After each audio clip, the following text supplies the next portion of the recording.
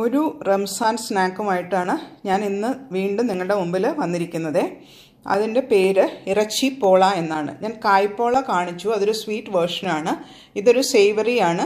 നമ്മൾ കീമ വെച്ചിട്ട് അതായത് ലാം കീമ വെച്ചിട്ട് ഉള്ള ഇറച്ചി പോള എങ്ങനെ ഉണ്ടാക്കുന്നതെന്ന് ഇപ്പോൾ കാണിച്ചു തരാം. അപ്പോൾ അതിന് ആവശ്യമുള്ള ഇൻഗ്രീഡിയൻസ് ഞാനിപ്പോൾ ഒരു one fifty gram lamb keema അതായത് ലാമ്പ് മിൻസ് ചെയ്ത മീറ്റ് ബോൺലെസ് ആയിട്ടുള്ള മീറ്റ് എടുത്തിട്ടുണ്ട്. പിന്നെ നെയ്യും ഓയിലും കൂടെ ഒരു അര ഒരു രണ്ട് ടേബിൾ സ്പൂണോളം എടുത്തിട്ടുണ്ട്. ഒരു സവാള ചെറുതായിട്ട് കൊത്തി അരിഞ്ഞത് രണ്ട് പച്ചമുളക് ചെറുതായിട്ട് അരിഞ്ഞത് മല്ലിപ്പൊടി അര ടീസ്പൂൺ മഞ്ഞൾപ്പൊടി കാൽ ടീസ്പൂൺ ഒരു ബേ ലീഫ് ആറല്ലി വെളുത്തുള്ളി ഒരു ചെറിയ കഷ്ണം ഇഞ്ചി രണ്ട് ഏലക്ക ഒരു കഷ്ണം പട്ട രണ്ട് ഗ്രാമ്പൂ അര ടീസ്പൂൺ പെരിഞ്ജീരകം മല്ലിയില ഒരു ഒരു കപ്പ് അര കപ്പോളം ആറ് മുട്ട ഒരു പത്ത് അണ്ടിപ്പരിപ്പ്. ഇത്രയും കൊണ്ട് ഉപ്പും വേണം. ഇത്രയും കൊണ്ട് നമുക്ക് നല്ല ഒരു ഇറച്ചിപ്പോള എങ്ങനെയാണ് ഉണ്ടാക്കുന്നതെന്ന് ഞാനിപ്പോൾ കാണിച്ചു തരാം. ഇറച്ചിപ്പോള ഉണ്ടാക്കാനായിട്ട് ഞാനൊരു പാൻ അടുപ്പത്ത് വെച്ചിട്ട് ആ നെയ്യും ഓയിലും കൂടെ ചൂടാക്കിയിട്ടുണ്ട്. അതിനകത്തോട്ട് ചെറുതായിട്ട് അരിഞ്ഞ സവാളയും പച്ചമുളകും കൂടെ വഴറ്റിയെടുക്കാം. ആ സമയം കൊണ്ട് ഞാൻ ആ വെളുത്തുള്ളി ഇഞ്ചി സ്പൈസസ് അതായത് ബേ ലീഫ് പട്ട ഗ്രാമ്പു ഏലക്ക അതെല്ലാം ഒന്ന് അരച്ച് ഞാൻ വെച്ചിട്ടുണ്ട്. ഇതൊന്ന് വഴന്ന് കഴിഞ്ഞിട്ട് വേണം ആ അരപ്പ് ഇതിനകത്തോട്ട് നമുക്കൊന്ന് ആഡ് ചെയ്തിട്ട് ഒന്ന് വഴക്കിയെടുക്കാനായിട്ട് അപ്പോൾ ഇതൊന്ന് ബ്രൗൺ ആവുന്നവരെ നമുക്കൊന്ന് വെയിറ്റ് ചെയ്യാം. ഇതിപ്പോൾ ഞാൻ ഇന്നിപ്പോൾ ലാമ്പ് മിൻസ് കൊണ്ടാണ് ഉണ്ടാക്കുന്നത്. ഇത് തന്നെ നിങ്ങൾക്ക് ചിക്കൻ വെച്ചിട്ടും ഉണ്ടാക്കാം. ബീഫാണെങ്കിൽ മാത്രം അതൊന്ന് കുക്ക് ചെയ്തിട്ട് നമ്മൾ കട്ട്ലറ്റിന് മിൻസ് ചെയ്യുന്ന പോലെ എടുത്തിട്ട് വേണം ഉണ്ടാക്കാനായിട്ട്. ചിക്കനും ലാമ്പും നമുക്ക് ഡയറക്റ്റായിട്ട് ഇതിനകത്തിട്ട് കുക്ക് ചെയ്യാം.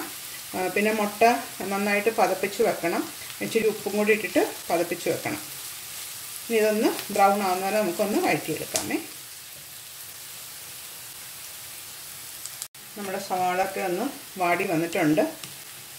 ഇനി ഇതിനകത്തോട്ട് അരച്ച് വെച്ച പേസ്റ്റ് അതിനകത്തോട്ട് ഞാൻ നേരത്തെ പറഞ്ഞിരുന്ന കുരുമുളകും കൂടെ ആഡ് ചെയ്തിട്ടുണ്ട്. ഞാൻ പെപ്പർ നേരത്തെ പറഞ്ഞിരുന്നില്ല. അപ്പോൾ പെപ്പറും കൂടെ ഇതിനകത്തിപ്പോൾ നമ്മൾ ആഡ് ചെയ്തിട്ടുണ്ട്. അതായത് പട്ട ഗ്രാമ്പൂ ഏലക്ക പെരുംജീരകം ഇഞ്ചി വെളുത്തുള്ളി കുരുമുളക്. ഒരു കഷ്ണം ബേ ലീഫും നല്ലൊരു സ്മെല്ല് വരുന്നുണ്ട്. അരപ്പ് വഴന്ന് വരുന്നതിന്റെ നന്നായിട്ടൊന്ന് വഴന്ന് വരട്ടെ.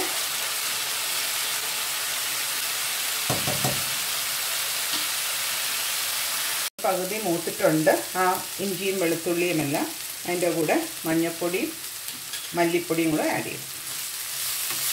എരിവിനായിട്ട് നമ്മൾ പച്ചമുളകും കുരുമുളകും മാത്രമേ ആഡ് ചെയ്യുന്നുള്ളൂ. ഇനി ഇതും കൂടെ ഒന്ന് വഴന്ന് വന്ന് കഴിഞ്ഞിട്ട് നമുക്ക് ഈ മട്ടൺ ലാമ്പ് മിൻസും കൂടെ ഇതിനകത്ത് ഇട്ടിട്ട് ഉപ്പും ലാമ്പ് മിൻസും കൂടെ ഇതിനകത്ത് ഇട്ടിട്ട് അതൊന്ന് വേവിച്ചെടുക്കണം.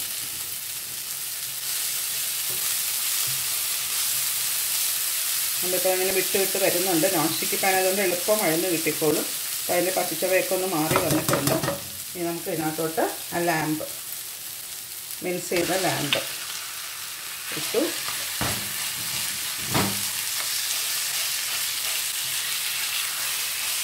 അതിനെ ഒന്ന് ബ്രേക്ക് ചെയ്ത് കൊടുക്കണം.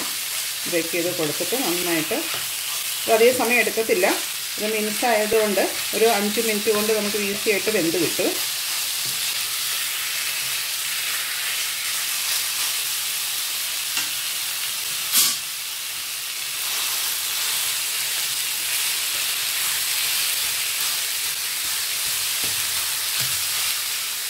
ഇതിന്റെ കളറൊന്ന് ആ റെഡ് കളറൊന്ന് മാറി വന്നാൽ മതി. അപ്പോഴേക്കും നമ്മുടെ ലാമ്പ് വെന്തിട്ടുണ്ടാവും.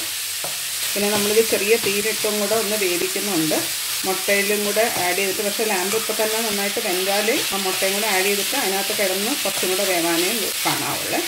ബാക്കിയുള്ളതെല്ലാം ഇപ്പോൾ നമുക്ക് വേവിച്ചെടുക്കണം.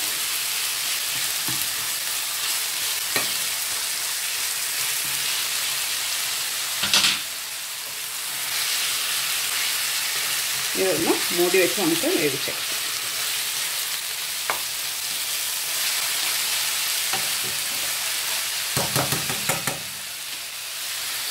ഒരു അഞ്ച് മിനിറ്റ് കഴിഞ്ഞ് നമുക്കൊന്ന് തുറന്ന് നോക്കാം. ഉണ്ടോ ലാമ്പൊക്കെ ഒരുമാതിരി വെന്ത് വന്നിട്ടുണ്ട്. ഇനിയിപ്പോൾ ഇതിനകത്തോട്ട് നമ്മൾ അണ്ടിപ്പരിപ്പ് പിന്നെ പകുതി മല്ലിയിലയും കൂടെ ഇപ്പം ആഡ് ചെയ്യാം. ബാക്കി പകുതി നമുക്ക് മുട്ടയുടെ കൂടെ ആഡ് ചെയ്യാം. പകുതി മല്ലിയില ആഡ് ചെയ്തു. ഉപ്പൊക്കെ എല്ലാവരും ഒന്ന് നോക്കണം ഇനി നമുക്കിത് അടുപ്പങ്ങ് ഓഫ് ചെയ്തിടണം. ഓഫ് ചെയ്തിട്ടിട്ട് ഈ ലാമ്പ് നന്നായിട്ട് തണുക്കണം. തണുത്ത് കഴിഞ്ഞിട്ട് വേണം എഗ് മിക്സ്ചർ ഇതിനകത്തോട്ട് ആഡ് ചെയ്തിട്ട് വീണ്ടും നമുക്ക് അടുപ്പത്തോട്ട് വെക്കാനായിട്ട്. അപ്പോൾ ഞാൻ അടുപ്പങ്ങ് ഓഫ് ചെയ്യുക.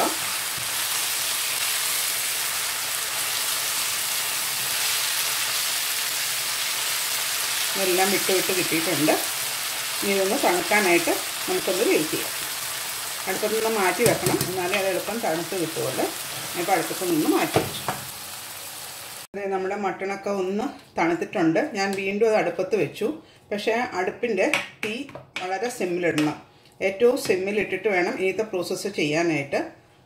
ഇനി ഇതിനകത്തോട്ട് നമ്മൾ ആ മുട്ട ആറ് മുട്ട ഞാൻ ഇവിടെ ബീറ്റ് ചെയ്ത് ദേ ഇവിടെ വെച്ചിട്ടുണ്ട്. കുറച്ച് ഉപ്പും കൂടെ ചേർത്തിട്ട് ദേ നന്നായിട്ട് ബീറ്റ് ചെയ്ത് വെച്ചിട്ടുണ്ട്. ഇത് നമുക്ക് ഇതിനകത്തോട്ട് ഒഴിച്ചു കൊടുക്കണം. അപ്പോൾ തീ അധികം ഇടരുത്. തീ വളരെ ലോയിൽ ഇടാവുള്ളൂ. എന്നിട്ട് ഞാൻ ഇതിങ്ങനെ കുറേശ്ശെ എല്ലായിടത്തും ആവുന്ന വിധത്തിൽ ഒഴിച്ചു കൊടുക്കും. ഇങ്ങനെ കട്ട് ചെയ്ത് എടുക്കാവുന്ന പരുവായിരിക്കണം. അപ്പോൾ മുട്ടയുടെ ക്വാണ്ടിറ്റി എപ്പോഴും കൂടുതലായിരിക്കണം മട്ടണിലും. എന്നാലേ നമുക്കൊരു പോലെ മുറിച്ചെടുക്കാൻ പറ്റുള്ളൂ. ഇനിയിപ്പം ഞാൻ മല്ലിയിലയും കൂടെ ബാക്കി മല്ലിയിലയും കൂടെ എന്റെ മുകളിലോട്ട് ഇട്ടു. ഇനി ഇത് വളരെ സിമ്മിൽ സിമ്മിലിട്ടിട്ട് ഞാനിതൊന്ന് അടച്ചു വെച്ച് വേവിക്കാൻ പോകും കവർ ചെയ്ത് വെച്ചു. വളരെ സിമ്മിലാണ് കിടക്കുന്നത് ഒരു അഞ്ച് മിനിറ്റ് കഴിഞ്ഞ് നമുക്കൊന്ന് തുറന്ന് നോക്കാം. അത് സൈഡിൽ നിന്ന് നമുക്ക് കാണുമ്പോൾ തന്നെ അറിയാതെ ഇങ്ങനെ വിട്ട് വിട്ട് വന്നിട്ടുണ്ടെങ്കിൽ കറക്റ്റ് പാകമായിട്ടുണ്ടാവും. അപ്പം അഞ്ച് മിനിറ്റ് കഴിഞ്ഞ് നമുക്കൊന്ന് തുറന്ന് നോക്കാമേ. ഇപ്പം അതേ ഒരു അഞ്ച് മിനിറ്റായി. ഞാനൊന്ന് തുറന്ന് നോക്കുവാണ്. കണ്ടോ?